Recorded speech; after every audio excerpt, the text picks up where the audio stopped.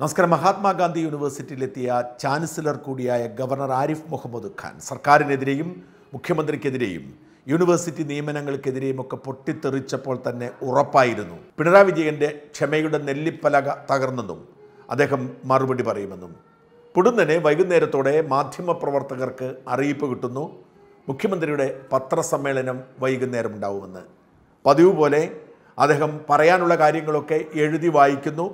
പിണറായി സ്വന്തമായി കണ്ടെത്തിയ തള്ളുശാസ്ത്രത്തിൽ വീണ്ടും ബിരുദമെടുക്കുന്നു. ഒടുവിൽ പ്രതീക്ഷിച്ചതുപോലെ ഗവർണറെക്കുറിച്ച് ചോദ്യമുണ്ടാകുന്നു. അദ്ദേഹം കരുതി വെച്ചിരുന്ന മറുപടികളുമായി രംഗത്ത് വരുന്നു. പിണറായിയുടെ പത്രസമ്മേളനത്തിലെ ഗവർണർക്കുള്ള മറുപടി കട്ട് ചെയ്ത് സൈബർ സഖാക്കൾ ആഘോഷിക്കുകയാണ്. ഗവർണർക്ക് ഇരിപ്പത് കൊടുത്തു. പിണറായി ഇരട്ടച്ചങ്കനല്ല മുച്ചങ്കൻ തന്നെയാണ്. ഇനി ഗവർണർ വാ പൊള്ളിക്കില്ല എന്ന് സഖാക്കൾ അവകാശപ്പെടുന്നു. പക്ഷേ ഗവർണർ വായടയ്ക്കാൻ തീരുമാനിച്ചിട്ടില്ല. ഇന്ന് രാവിലെ ഗവർണർ വീണ്ടും മറുപടിയുമായി എത്തി ആ മറുപടിയിൽ ഏറ്റവും പ്രധാനപ്പെട്ടത് മുഖ്യമന്ത്രി പിണറായി വിജയൻ ഒളിയുദ്ധം അവസാനിപ്പിച്ച് നേരിട്ട് വന്നതിൽ സന്തോഷമുണ്ട് എന്ന പരാമർശമാണ്. വരും ദിവസങ്ങളിൽ യുദ്ധം തുടരുമെന്ന് കരുതാം. പക്ഷെ സൈബർ സഖാക്കൾ ആഘോഷിക്കുന്നത് പോലെ ഇരട്ടച്ചങ്കും മുച്ചങ്കുമൊക്കെ തെളിയിക്കുന്നതായിരുന്നു ഈ മറുപടി. എനിക്ക് സംശയമുണ്ട്. പിണറായി വിജയൻ പറഞ്ഞതൊക്കെ നുണകളാണ്. അസംബന്ധങ്ങളാണ് തല്ലുകൊള്ളിത്തരങ്ങളാണ് വിവരക്കേടുകളാണ് ധാർഷ്ട്യത്തിൽ പൊതിഞ്ഞ പതിവ് രീതിയിൽ നിന്നും ഒട്ടും വ്യത്യസ്തമല്ലാത്ത കള്ളത്തരങ്ങളാണ്. പിണറായി ഏറ്റവും അധികം ചൊടിപ്പിച്ചത്. പ്രൈവറ്റ് സെക്രട്ടറി കെ കെ രാഗേഷിന്റെ ഭാര്യ പ്രിയ വർഗീസിന് കൊടുത്ത നിയമനത്തെക്കുറിച്ചുള്ള ആക്ഷേപങ്ങളാണ്. മുഖ്യമന്ത്രി അതിനെ ഇങ്ങനെയാണ് മറുപടി പറയുന്നത്. ഈ പേഴ്സണൽ സ്റ്റാഫിന്റെ ബന്ധുവിന്റെ നിയമനം മുഖ്യമന്ത്രി അറിയാതിരിക്കും മുഖ്യമന്ത്രി അറിയാതെ നിയമിക്കാൻ ചാൻസലർ ചാൻസലർക്ക് നിർദ്ദേശം വന്നെന്ന് പറഞ്ഞാൽ വിശ്വസിക്കാൻ കഴിയുമോ? ഇതാണ് അദ്ദേഹം ചോദിച്ചതായി കാണുന്നത്. ഇതിൽ പരം അസംബന്ധം വേറൊരാൾക്കും പറയാൻ കഴിയില്ല. ഇരിക്കുന്ന സ്ഥാനത്തിനനുസരിച്ചായിരിക്കണം വർത്തമാനം. മുഖ്യമന്ത്രിയുടെ സ്റ്റാഫ്. ആ സ്റ്റാഫിന്റെ ഒരു ബന്ധു. ആ ബന്ധു എന്ന് പറയുന്ന ഒരു വ്യക്തിയാണ്. ആ വ്യക്തിക്ക് ആ വ്യക്തിയുടെ സ്വാതന്ത്ര്യവും അവകാശവും ഉണ്ട്. അതനുസരിച്ചിട്ട് അവർക്ക് അർഹതയുണ്ട് എന്ന് കാണുന്ന ഒരു ജോലിക്ക് അപേക്ഷിക്കാൻ സാധാരണ നിലയിൽ അവർക്ക് അവകാശമുണ്ട്. ഞാൻ മുഖ്യമന്ത്രി മുഖ്യമന്ത്രിയുടെ സ്റ്റാഫിന്റെ ബന്ധുവാണല്ലോ. അതുകൊണ്ട് മുഖ്യമന്ത്രിയുടെ അനുമതി വാങ്ങണം എന്നാരെങ്കിലും ചിന്തിക്കും. ഈ നാടിനെക്കുറിച്ച് ആലോചി അറിയാവുന്ന ആർക്കെങ്കിലും അങ്ങനെ ആലോചിക്കാൻ പറ്റുമോ? എന്തൊരു അസംബന്ധമാണ് എഴുന്നള്ളിക്കുന്നത്? മുഖ്യമന്ത്രിയോട് ചോദിച്ചിട്ടാണോ ഈ പറയുന്ന ബന്ധു അപേക്ഷ കൊടുക്കുക? ഈ കേരളത്തിലെ മുഖ്യമന്ത്രിയുടെ സ്റ്റാഫിന്റെ ബന്ധുവായി പോയി എന്നുള്ളത് കൊണ്ട് അപേക്ഷിക്കാൻ പറ്റില്ല അവർക്കൊരു ജോലി സ്വീകരിക്കാൻ പറ്റില്ല എന്ന് പറയാൻ ഇദ്ദേഹത്തിന് എന്ത് അധികാരം? ആര് നൽകിയിരിക്കുന്നു അധികാരം? ഇതാണോ ഗവർണർ പദവി കൊണ്ട് ഉദ്ദേശിക്കുന്നത്? ഇതാണോ ചാൻസലർ പദവി കൊണ്ട് ഉദ്ദേശിക്കുന്നത്? ഈ മറുപടിയിൽ പിണറായി വിജയൻ ബോധപൂർവം പറയുന്ന ചില വാക്കുകളുണ്ട്. മുഖ്യമന്ത്രിയുടെ സ്റ്റാഫ് എന്ന പ്രയോഗം വെറും സ്റ്റാഫല്ല അത് മുഖ്യമന്ത്രിയുടെ പ്രൈവറ്റ് സെക്രട്ടറിയാണ് എന്ന് അദ്ദേഹം ബോധപൂർവം മറച്ചു വയ്ക്കുന്നു സ്റ്റാഫ് എന്ന് പറഞ്ഞാൽ താഴത്തെ തട്ടിലെ പിണറായി ഒരിക്കലും കാണാത്ത ഒരു പ്യൂണോ തൂപ്പുകാരനോ ഒക്കെ ഉൾപ്പെടും. എന്നാൽ ഇത് പ്രൈവറ്റ് സെക്രട്ടറിയാണ്. പ്രൈവറ്റ് സെക്രട്ടറി എന്ന് പറഞ്ഞാൽ മുഖ്യമന്ത്രിക്ക് വേണ്ടി ഫയലിൽ ഒപ്പുവയ്ക്കാൻ അധികാരമുള്ളയാൾ. മുഖ്യമന്ത്രി കാണുന്നതിനേക്കാൾ കൂടുതൽ ഫയൽ കാണുന്നയാൾ. അതായത് മുഖ്യമന്ത്രിയുടെ പ്രൈവറ്റ് സെക്രട്ടറിയാണ് യഥാർത്ഥത്തിൽ സർക്കാർ എന്ന് പറയുന്നത്. മുഖ്യമന്ത്രിയുടെ കയ്യിലെത്തുന്നത് നയപരമായ കാര്യങ്ങൾ മാത്രമാണ്. അതുകൊണ്ട് സ്റ്റാഫ് എന്ന് പറഞ്ഞ് ചെറുതാക്കരുത്.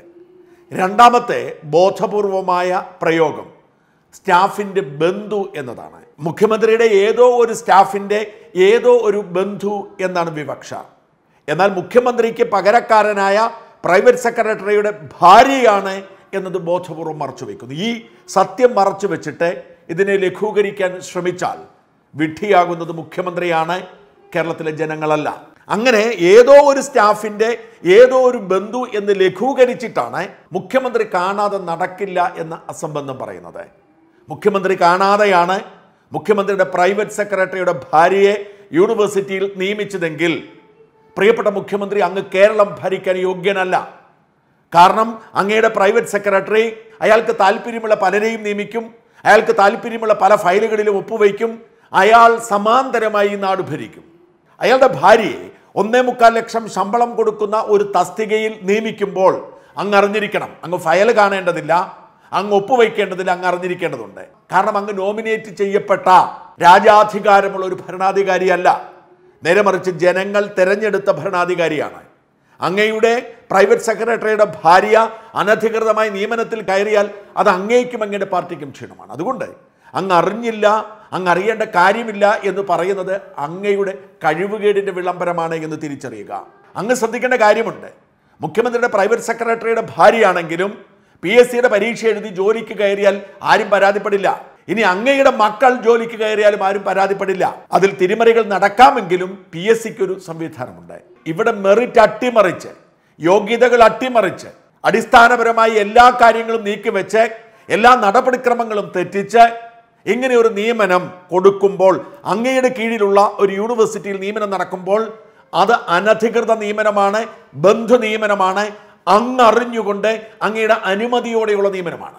അല്ലെങ്കിൽ അങ്ങ് എന്താണ് ചെയ്യേണ്ടത്? ഈ വിവാദം ഉണ്ടായപ്പോൾ തന്നെ ഫയൽ വിളിച്ചു വാങ്ങി ഈ രേഖകളൊക്കെ പരിശോധിച്ചിട്ട് ഇത് ശരിയല്ല എന്ന് പറയണം. അങ്ങ് അതാണ് ഇരട്ടച്ചങ്ക് എന്ന് പറയുന്നത്. ഇതിനെ ഇപ്പോൾ അങ്ങ് ന്യായീകരിക്കുന്നു. മുമ്പ് വിദ്യാഭ്യാസ മന്ത്രി ന്യായീകരിച്ചു പ്രൈവറ്റ് സെക്രട്ടറി ന്യായീകരിച്ചു.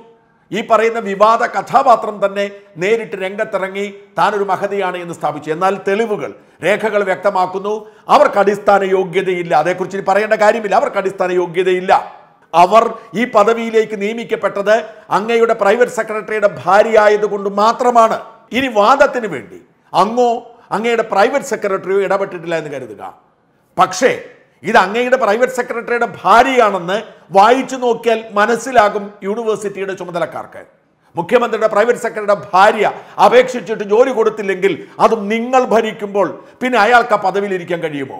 അതുകൊണ്ട് അങ്ങ് പറയുന്നതിൽ ഒരു ന്യായവുമില്ല. മെറിട്ടില്ലാത്ത ബന്ധു നിയമനമാണ് അഴിമതിയാണ് തട്ടിപ്പാണ് അതിന് കുട പിടിക്കുകയാണ് അങ്ങ്. അല്ലെങ്കിൽ അങ്ങ് കഴിവില്ലാത്ത ഭരണാധികാരിയാണ് എന്ന് വിളിച്ചു പറയുകയാണ്. പിന്നെ അങ്ങേ ചൊടിപ്പിച്ചത് ഇന്ത്യയ്ക്ക് പുറത്ത് ഉണ്ടായ ഒരു രാഷ്ട്രീയ പാർട്ടി എന്ന വാദമാണ്. ഈ ഇന്ത്യയ്ക്ക് പുറത്ത് രൂപം കൊണ്ട ആശയങ്ങൾ എന്താ ഉദ്ദേശിക്കുന്നത് വ്യക്തതയല്ലേ ഇതിലൂടെ? ഇന്ത്യയിലെ കമ്മ്യൂണിസ്റ്റ് പ്രസ്ഥാനത്തെയാണ് ഉദ്ദേശിക്കുന്നതെങ്കിൽ ഭരണഘടനാ നിർമ്മാണ സഭയിൽ തന്നെ കമ്മ്യൂണിസ്റ്റുകാർ അംഗങ്ങളായിരുന്നു. അതിൽ അംഗത്വം ഉണ്ടായിരുന്നു. ഇവിടെ ഗവർണർ പറഞ്ഞതിൽ എന്താണ് തെറ്റ്? ഇന്ത്യയ്ക്ക് പുറത്തുണ്ടായ ഇന്ത്യയിൽ ഭരിക്കുന്ന ഏക രാഷ്ട്രീയ പാർട്ടി അങ്ങയുടേതാണ്.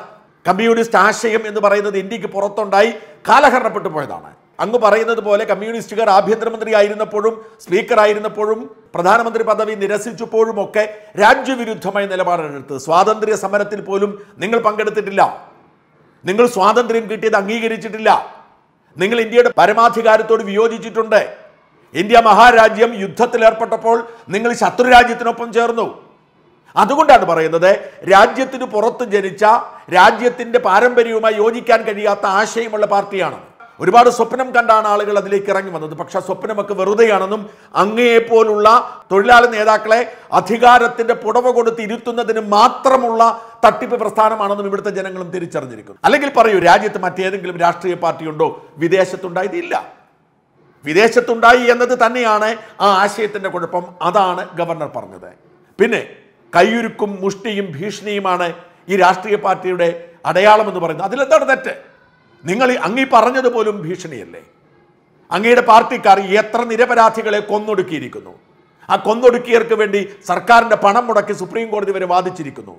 പൊതുപ്രവർത്തനം നടത്തിയതിന്റെ പേരിൽ ടി പി അടക്കം എത്ര പേരെ വെട്ടിനുറുക്കി കൊന്നിരിക്കുന്നു എത്ര പേരോട് ഭീഷണി മുഴക്കുന്നു? ഇപ്പോഴും മുഴക്കിക്കൊണ്ടിരിക്കുന്നു അങ്ങയുടെ സർക്കാരിലിരിക്കുന്നവർ തന്നെ. ഇതിൽ എന്താണ് ഒരു തെറ്റുള്ളത്?